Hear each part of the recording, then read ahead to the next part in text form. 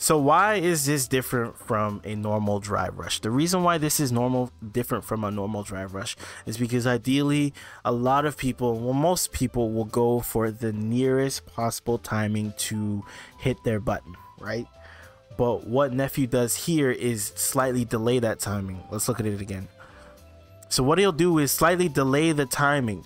Why does he delay the time? He delays the timing so that you're as the opponent you're thinking that throw is now coming. So now you look at his buttons. He's trying to throw tech. So once you do that then that opens up the world to delay button. And then now that he got hit by delay button he gets the entire route. Okay now time to pay this is also something that you should be incorporating into your punishes. Unfortunately, my character doesn't get this. But, um, so essentially what you'll do, you'll parry the super attempt or whatever, the DP or whatever. Then you will drive rush, do raw drive rush so that you can get the extra plus frames to get extra damage for cheaper. Okay, and on this fine day, we're doing a pro analysis. All right, so let's see.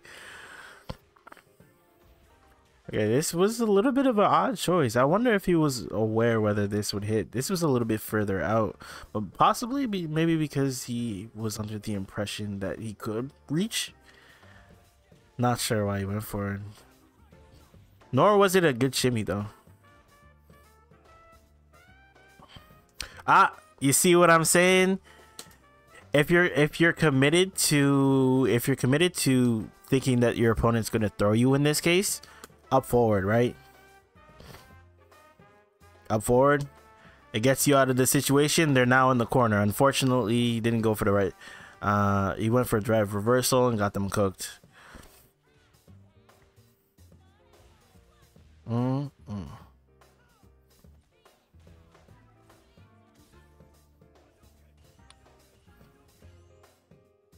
Notice how she's just not drive rushing in because a lot of Juris, especially around like that diamond rank, they like to just like hold forward and go in. But notice how he's playing patient, not too antsy. Now this is namely because he doesn't have a lot of drive meter, right? So let's say this is all part of drive meter management. Let's say he just drive rushes in there. Then what? What happens? right? At the end of the day, you'll only have like quarter of a bar left, and then it, let's say they DP after the plus frames, then you implode. You know. Mm. Jinrai kicks is annoying just across the board. Okay, also the usage of the occasional usage of dive kick is very good namely because when you're doing the dive kicks it changes the trajectory of uh, or your timing of when you actually touch them is very good because it, when you jump in the air you're pretty much committed to that uh, arc right? But when you use a dive kick it kind of changes the direction of that arc. So it makes it a little bit harder to enter your characters. Like uh jamie has one um Dhalsim has one. Cammy, of course, has one as a core part of her kit. Um, obviously, and then uh, no, I think I mentioned them all actually. So just like that, got the punish counter. So that right there, known as a crosscut. So crosscuts are generally when someone jumps over your head, you're still able to do the DP input. There's different ways to actually accomplish this, but in in uh yeah and in his case he went for half circle back half circle back forward punches. Okay then he just held the button dashed forward get the plus frames try to shimmy him. Right? He's trying to catch a shimmy because most of the people are going to think that grab is coming when you get that close to them. So he's trying to bait out the shimmy there Now both have to play relatively passive because their meter is down. So this is again meter management at this level is so insane and so crazy because they're aware of their meter. They're both aware of their meter, but they also don't want to take too many uh, forward advances because that might get them cooked. So in this case, instead of trying to parry it, he just decided to just take it, right? Because at the end of the day, the way he was going to go about this is that he would have drive rushed in anyway. So now it's just playing patient. right? Notice how you're not doing too much, right? Not doing too much, not trying to mash out of it, just taking back space, right? But I, I want to take notice to it's something so small, but even just noticing that small walk forward to gain a little bit more ground that you lost is so important. Like, look, she backdashes and then walks forward just to check that space. Why does she walk forward? Because ideally, you want when you're walking forward, right, your opponent might want to walk back in order to try and whiff punish you. So when you walk forward, you're taking. Obviously, she's on the back foot, right, because she's burnt out. But the fact that she took that walk forward makes the Ken want to walk back in order to be in a proper range to whiff punish anything that may come out thus keeping a little bit of the ground that you just lost right? See how see how he took some steps back just so that he could be in range to whiff punish something? Unfortunately she went for the heavy uh heavy punch that goes pretty far right? Got the whiff punish probably gonna take a stock off of this or no he's gonna try and take liberties so right now even though uh, nephew is in burnout, he's still on top in this case. Even though if he may rush in, as long as um, nephew decides to block or try to interrupt this, you'll still be fine. But it's uh, ill-advised to try and interrupt this unless you're really confident in the fact that you can interrupt it. Only because if he gets that counter hit, he's going to confirm this into a combo into a kill right? But if he just decides to block it out, let's say he gets the plus frames and then he goes for throw. Even off a throw, still not dead, and then all his meter will come back anyway. Right? Decided to play super passive, super calm, and then went in, got the kill. Okay, simple and clean jump in, an age old classic. Okay, so that is what we know as a frame kill. So the reason why we do this frame kill, so this is one of the really nice frame kills that not only, so why do we do frame kills? Frame kills allow you to get like super perfect, consistent, meaty timings because you want um, to make sure that you're meeting your opponent properly. They're not able to mash or whatever have you.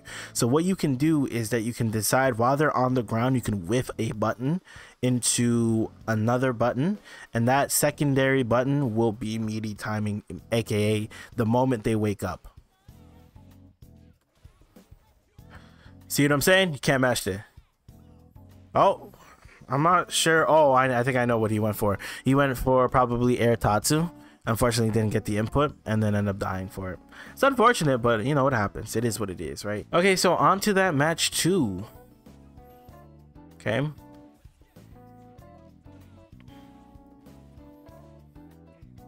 Again, notice how there's up forward in use. Okay, baited the DP. Now we went for DI here because we wanted to make sure that they got broken, right? Because especially because look at their super meter. They don't have access to level one, right? So with that being said, DI would definitely be the best way to get the max amount of um, drive gauge damage. Okay, now you just meaties. Now you have to play the strike throw game. Might do it again. Oh, no, decided not to do it again. So notice how he's standing at this range. This is a range that I want you guys to start standing at. Why do you want to stand in this range? Because you're right out of um, that crouching medium kick range. So just right out of it. So where he's standing, it may look, it'll look like he can hit, and then he'll just walk a slight spitch back. It can whiff punish it. On top of which, it is peak area for catching anti-airs. If you guys just start standing at this range alone and just be aware, mindful of things that they can do, they're free. Oh, see what I mean? See, standing at this range, tried to get the crouching medium kick, nothing came out, nothing came of it, right? Because if he gets that crouching medium kick, he can drive rush off of it and he gets a lot more value off of it, right? But he's standing at a range that's right out of it that makes him kind of feel as though he can definitely go for it, but he can't. Then he tries to jump, gets anti-aired. The peak spacing, okay? See what I'm saying? How to control the game. Nah, no shot. Okay, that's nasty. This guy's nasty. Okay, and then from here, this is an easy. So what happens here? Let's say he decides to wake up level one, right? Unlikely he will. I don't think he will, but let's say, excuse me, he decides to do so. If he decides to do so, then what happens to him, right? He gets blown back, whatever who. Then he, he's forced to either throw fireballs or try and uh, rush in. Okay, but the thing is, is that when he drive rushes in, any sort of poke, any sort of if he doesn't keep it tight, if he's not constantly baiting, he has to constantly be fearful of his life the entire rest of the game. While he, where while the um, while nephew can kind of just sit on his lead and be a little bit egregious with the fact that he can play his health bar as an advantage. So he, he obviously decides not to. Tries to go for a cheeky overhead. It doesn't work. Throw is to be super mindful of his offense here, right?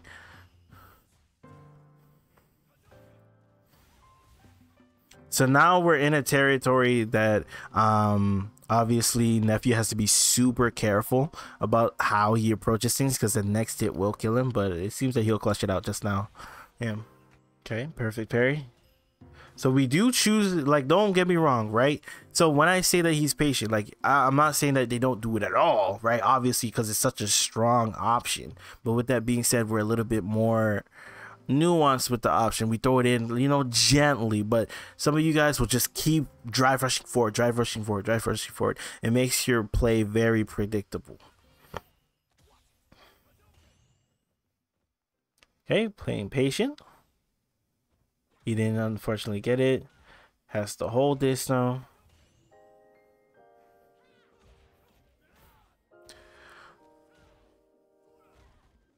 Okay, so here he has to start holding this strike strike throw game. And honestly, this strike throw game is pretty vicious with Ken. But again, this is why we don't the lane throw, right? He definitely does it he does it a lot less than um, most players do. But notice how even the pros are can't succumb to this, right? Oh, that's unfortunate. Yeah, that's it. Hmm. That's rough. Okay, last game. Last round, sorry. Hey, went for a jump. He wasn't ready for the jump. Okay, let's talk about this. So why is this different from a normal drive rush? The reason why this is normal different from a normal drive rush is because ideally a lot of people, well most people will go for the nearest possible timing to hit their button, right? But what nephew does here is slightly delay that timing. Let's look at it again. So what he'll do is slightly delay the timing. Why does he delay the time? He delays the timing so that your as the opponent, you're thinking that throw is now coming. So now you look at his buttons. He's trying to throw tech. So once you do that, then that opens up the world to delay button. And then now that he got hit by delay button, he gets the entire route. Okay, now time to pay. This is also something that you should be incorporating into your punishes. Unfortunately, my character doesn't get this. But, um, so essentially what you'll do, you'll parry the super attempt or whatever, the DP or whatever.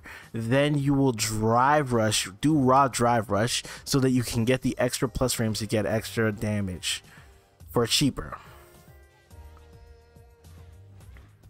Okay, obviously he could have done like a some type of burnout combo or whatever have you, but he chose not to do the burnout combo because or rather the combo that would burn him out because honestly he's he has a lead. He wants to secure the lead. Like look at the health difference right? So now he's just comfortable and now he can kind of just cool on the lead not be too aggro kind of take it easy. So notice how he's a little bit more chill now. Like he has the lead now he's just forcing you into situations where you have to do something a little bit risky to make the change. Oh my goodness, this character, bro. Okay, yeah, you're gonna have to hold this.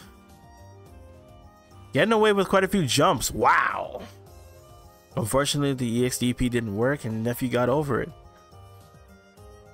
right? And the reason why he was able to play a little bit more risky like this is because he had that life lead. So whenever you're playing, you got to think about your health bar and so there are three main bars, obviously the super gauge, the drive meter, and your health bar, right? and leveraging all three of them can take you so far. So especially my Gief players out there, leverage your health. Okay, leverage the fact that you can eat a couple more fireballs than the rest of the cast, and all and for those who have normal health, right, leverage the fact that you're up on health right? You can take a little bit more risks because you can take those situations a little bit better, right? So those are things to, to keep in mind. Let's go on to the last game. All right, last game up. Let's do it. Okay, again, not too aggro, right? Just eating these. Obviously with parry is what I mean. Right? Not too aggro. Standing in a range where we want to whiff punish things, but also don't want to expose ourselves to... Right? Mm, unfortunate. Not sure where you went for that though. That's a good interrupt on the drive rush. And look at this. Look at this, guys. This is something that I see consistently amongst um, gold, plat, and half of diamond. The first half of diamond is that we do not optimize our positioning. Why do we throw them in the corner? Because we're just that much stronger. See, now we're one combo away from putting them in the corner. Now they're stuck in the corner. And once again, we run our offense in a way where they're stuck in the corner. They got a guess for game. He guessed wrong. GG's. Shake my hand.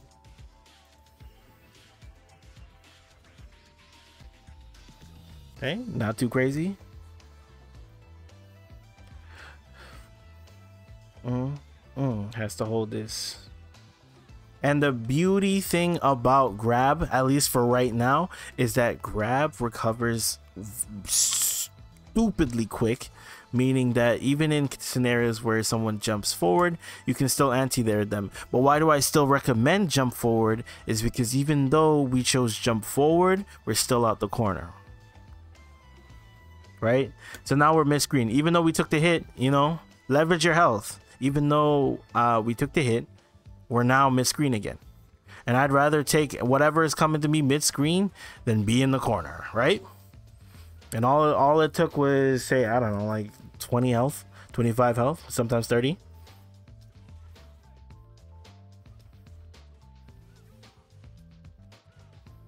Um,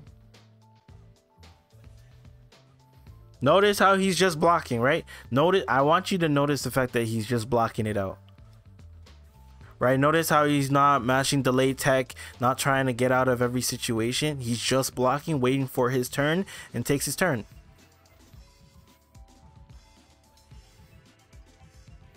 Right?